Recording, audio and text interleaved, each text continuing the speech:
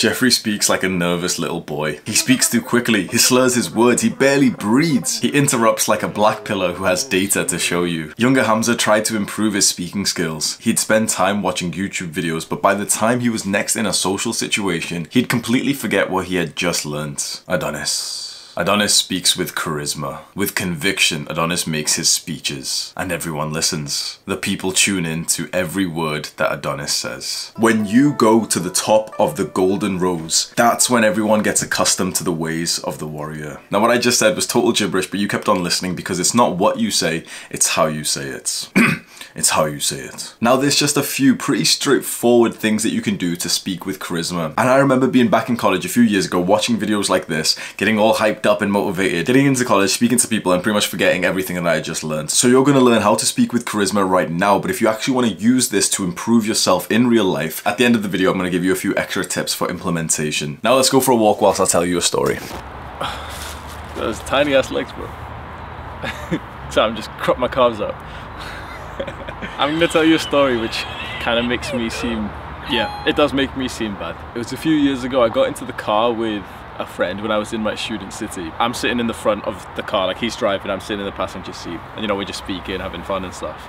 And he says, oh yeah, we're gonna go pick up his other friend too. And I don't know why. His other friend was automatically essentially like the lowest person amongst us. He sat in the back. I can really remember just almost like ignoring what the guy was saying, like not even taking it like seriously or anything. And there was one particular like pretty heartbreaking moment when I heard the guy in the back actually say like, can't you guys hear me? Me and the, the guy in the front, me and my friend in the front, didn't even respond to it. So we made the guy just like feel invisible because he wasn't speaking with like charisma. And that's what happens if you speak just like a normal person, if you speak without emphasis. You're right. You wanna be on YouTube? You wanna say hello to YouTube? Yeah, yeah. Good. right, we got my mate joining us today.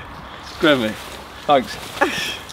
Hi everyone. I just uh, just met met this guy as I'm as I'm walking through the through the woods yeah. and uh, it's great. Yeah, yeah. yeah. Woods in a in a poor shape though, isn't it? Yeah. With all the all the ivy strangling the. It's coming down now. Strangling the trees. Yeah, yeah. Lots and lots of that about. Yeah. Okay. So, what advice would you give to young men around the world?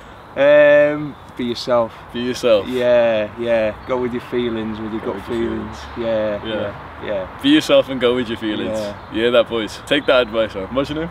I'm Paul. Paul Hamza. Nice to meet nice you, Hamza. Meet you. I appreciate you coming in for the video. no, no worries. I'll carry on with my travels. Nice one. All right. Have a good day, Paul. Thank you very much. Bye, Hamza in a bit, man. Be yourself, boys. Speaking with charisma, coupled with good social skills, it gets you little experiences like that where you just end up meeting someone. And I've said many, many times that the best parts of life are literally just the relationships that you make. And I've said this a bunch of times, and I know a lot of people disagree with me because they think, no, no, no, Hamza, uh, it, it's about making money. It's, it, it's about getting muscle and bitches. Like, the most important part of life is the relationships that you have. Speaking with charisma is a skill that will actually enable you to get those type of relationships. How was that for my little social skills demonstration for the day, boys? so step zero increase your value. This is the long-term solution to speak with more charisma and to get people to listen to you. People will listen to you when you seem more valuable. Now what's value? Value is just what you bring to the table in a social situation. So it's your physical attractiveness, it's your confidence, your humor, your flirtiness, it's whether you bring attractive girls with you, it's whether you've got money or status. If you're doing self-improvement the right way, my way, then your value in all areas of life will go up. Now step one is body language. There's real science and, and data, I'm not gonna cite the studies bro, relax there's real science that shows your physiology, your body affects your mind, your psychology. So with an open, confident body language, you've always been told the same piece of advice, but I'm gonna give you something different. A nice, easy way to just get into the right body language is to just open up the front of your body. Open it up, open up your legs, big dick it, man spread it. Have the body language that the blue head people on Twitter would take a picture of you and get angry at. Open up, like literally spread your balls out, spread your arms out, take up space and sit up a little bit straighter, chin up a little bit. Just open up and feel confident. Now step two is to smile. And you've heard this advice again before and the advice is kind of trash because you know it yourself. Faking a smile is awkward as hell. And then the extra trash advice that people say is, okay, don't fake the smile, but uh, smile with your eyes. Like, How'd you do that, bro? All of that is too weird. So you want to know how to smile properly? Stop trying to smile physically. Smile mentally. Think about something that makes you smile. Think about something that makes you happy and you'll automatically smile and it'll be an authentic, genuine, attractive smile. Very simply, just visualize yourself happy or visualize yourself smiling. There we go. Beautiful smile.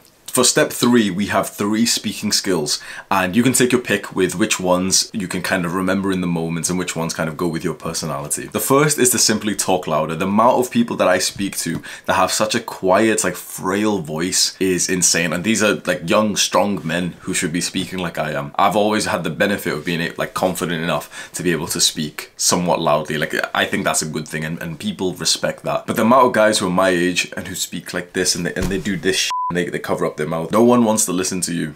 Why do guys speak quietly? A simple answer is a lack of confidence, and I can imagine I'm like visualizing a, a, shy, nervous guy speaking quietly, doing you know covering up his mouth. It's because he only wants his his voice to be broadcasted just to just about to the person that he's talking to. He doesn't want his voice broadcasted to the other people around. So potentially a mindset that maybe you can remember when you're in the middle of a social setting and you find yourself being prone to speaking quietly. Imagine that you actually want your voice to resonate to more than just the person that you are currently speaking to. The second part of improving your speaking skills, which is one I really like, which I'm currently doing, is to take more pauses and to only breathe through your nose. You want to breathe only in and out of your nose and straight. Really, really visualize the breath coming into your belly. When you're speaking faster and you're speaking in a less charismatic, faster, shy, beta way, you'll find yourself speaking from your mouth because it allows you to speak without as many gaps. Now, in a moment like this, I can take those gaps comfortably because no one can interrupt